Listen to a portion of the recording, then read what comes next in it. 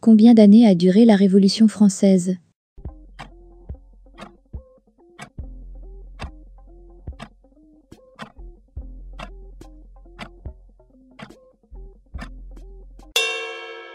Dix ans. La période de la Révolution française débute avec l'ouverture des États généraux le 5 mai 1789 et termine dix ans plus tard avec le coup d'État de Napoléon Bonaparte le 9 novembre 1799. Qu'est-ce qui a provoqué la Révolution française?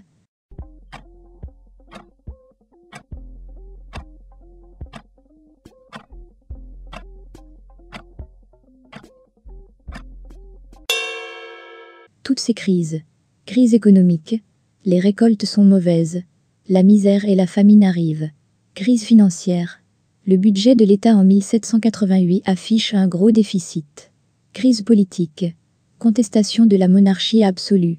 Crise sociale. Remise en cause de la société d'ordre.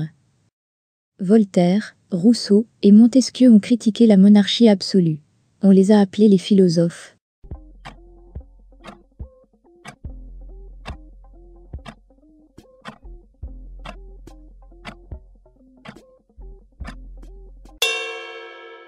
Des Lumières. Les philosophes des Lumières critiquent le rôle important de l'Église catholique dans la société, ainsi que la monarchie absolue. Ils rejettent l'idée que le roi soit le maître de ses sujets et puisse gouverner en ayant tous les pouvoirs.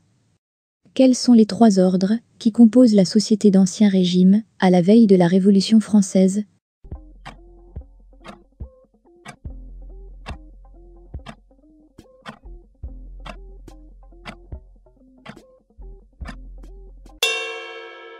Clergé, noblesse, tiers état. Chaque ordre a un rôle bien précis dans la société. Le clergé prie, la noblesse combat et le tiers état travaille. Cette tripartition est héritée du Moyen Âge. Au cours du printemps 1789, les Français doivent rédiger les cahiers de doléances dans lesquels étaient consignés.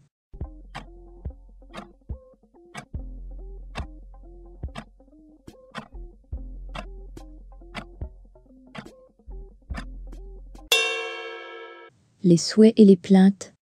60 000 cahiers de doléances regorgent de plaintes et renseignent sur les souhaits précis de chaque ordre. Le tiers-État souhaite la suppression de nombreux impôts et privilèges, tandis que la noblesse et le clergé souhaitent conserver leur situation, qui leur paraît être un fondement de la société française. Comment s'appelle l'assemblée convoquée par le roi le 5 mai 1789 pour résoudre les problèmes financiers du royaume?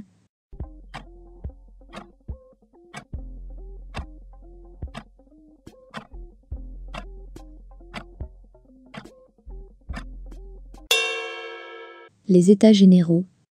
Les États généraux du Royaume de France s'ouvrent à Versailles le 5 mai 1789. Cette assemblée des trois ordres, clergé, noblesse et tiers États, est convoquée par le roi pour régler la crise financière. Les 1139 députés réunis sortent très déçus de cette première séance, car ils réalisent qu'aucune des réformes proposées dans leur cahier de doléances ne sera sérieusement discutée. Le 20 juin 1789, lors du serment du jeu de paume, les députés font le serment de ne pas se séparer avant.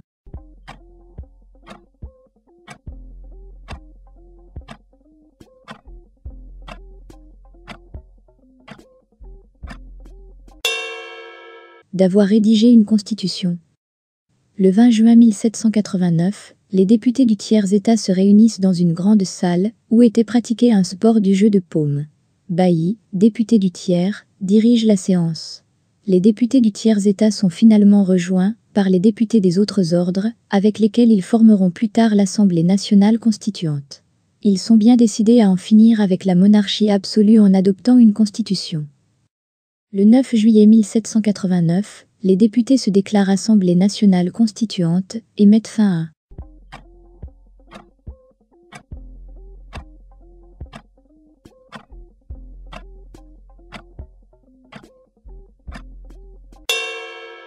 La monarchie absolue. L'Assemblée comptait près de 1200 députés et siégea d'abord à Versailles, puis dans le manège des Tuileries, à Paris. En dehors de son œuvre constitutionnelle, l'Assemblée procède à des réformes fondamentales touchant à l'administration, la justice, les finances, l'économie et la religion. Quel édifice a été pris d'assaut par les révolutionnaires le 14 juillet 1789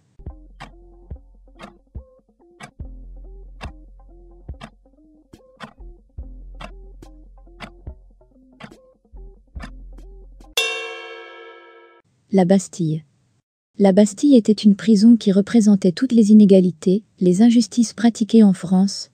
Le 14 juillet 1789, un groupe de paysans se rassembla, prit la Bastille d'assaut, où étaient stockées les réserves de poudre et de cartouches. C'était le début de la Révolution française. La prise de la Bastille est célébrée comme une fête nationale française, le 14 juillet. Suite au vote des députés de l'Assemblée nationale constituante le 4 août 1789.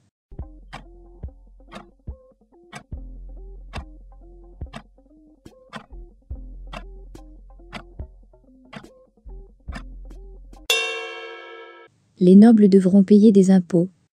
Au cours de la séance de l'Assemblée nationale constituante la nuit du 4 août 1789, le marquis de Foucault-Lardimali, député du Périgord, déclare qu'il convient maintenant de s'en prendre aux grands seigneurs, ces courtisans qui touchent des pensions et des traitements considérables de la cour. Toutes les provinces, puis toutes les villes en viennent à renoncer à leurs privilèges. La suppression des privilèges féodaux est alors votée.